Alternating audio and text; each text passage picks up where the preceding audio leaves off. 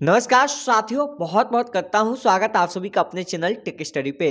आप थंबनेल देख के ही समझ गए होंगे कि आज मैं किस टॉपिक पे बात करने वाला हूँ। जी हाँ फ्रेंड्स मुख्यमंत्री कन्या उत्थान योजना के बारे में मैं बात करने वाला हूँ। अगर आपने पूर्व में मुख्यमंत्री कन्या उत्थान योजना के लिए फॉर्म अप्लाई किया था, लेकिन अभी तक आपके अकाउंट में पैसा नहीं आया है तो आप यह वीडियो ज़रूर देखिए, यह वीडियो आपके लिए काम की है। और साथ ही नए स्टूडेंट जो ग्रेजुएशन पास कर चुके हैं, उनको अभी तक यहाँ पे अप्लाई का मौका नहीं मिला है। वे भी इस वीडियो को लास्ट तक देखेंगे, मैं आपको इस वीडियो के माध्यम से आप सभी जानकारी देने वाला हूँ। तो बने रहे आप मेरे साथ वीडियो के लास्ट तक। वीडियो शुरू करने से पहले मैं आपसे एक छोटा सा रिक्वेस्ट करना चाहूँगा कि आप अभी तक इस चैनल पर नए हैं तो आप इस चैनल को सब्सक्राइब कर लीजिए और वी एलाइकन को दबा दीजिए ताकि ऐसे ही लेटेस्ट जानकारी मिलता रहे। चलिए शुरू करते हैं। तो सबसे पहले जान लेते हैं कि मुख्यमंत्री कन्या उत्थान योजना क्या है। देखिए, मुख्यमंत्री कन्या उत्थान योजना बिहार सरकार के द्वारा चलाई जा रही एक योजना है, जिसके अंतर्गत स्नातक पास सभी छात्राओं को पच्चीस हज़ार रुपये की राशि दी जाती है। अब समझ लीजिए कि स्नातक पास होना चाहिए, जिसमें यह कंडीशन नहीं है कि फ़र्स्ट सेकेंड थर्ड आप किसी भी डिवीज़न से अगर पास करते हैं, सिर्फ़ आपको पास आउट होना होगा, तभी आपको यह पैसा जो है दी जाती है। अब समझिए कि कब से दी जाती है। यह योजना जो है 25 अप्रैल 2018 के बाद पास करने वाली सभी छात्राओं को इसका लाभ मिल सकता है। अगर आपका जो भी सेशन हो, जैसे 14 से 17 सेशन था, लेकिन आपने पास आउट कब किया था? 25 अप्रैल 2018 के बाद अगर आपने पास आउट किया होगा, तभी आप इस योजना का लाभ उठा पाएँगे।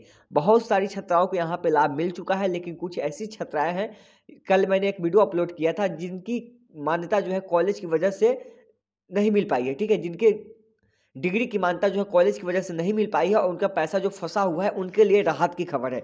अब यहाँ पे देखेंगे कि स्नातक पास लड़कियों को मार्च तक मिलेगी पच्चीस हज़ार रुपये की सहायता राशि।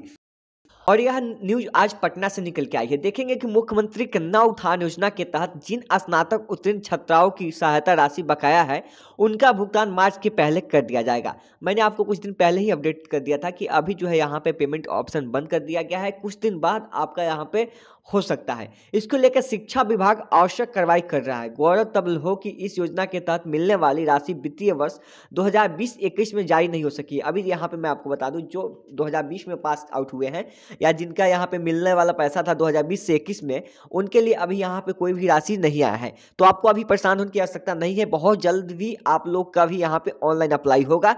तो आपको यहाँ पे पच्चीस के बदले अब की बार हो सके पचास हज़ार रुपये मिले। ठीक है? इस संबंध में उस शिक्षा की निदेशक रेखा कुमारी ने कहा है कि सभी स्नातक उत्तीर्ण लड़कियों के बैंक खाते में राशि भेजने की प्रक्रिया चल रही है।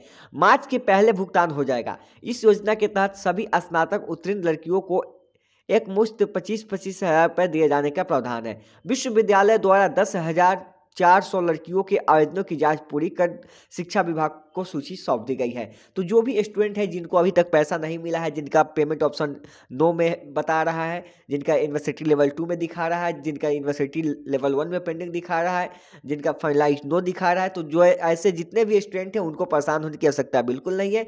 आप लोग के लिए ही यहाँ पर पहल चल रही है और यहाँ पर बताई जा रही है कि मार्च तक सभी स्टूडेंट के खाते में पैसा जो है भेज दी जाएगी।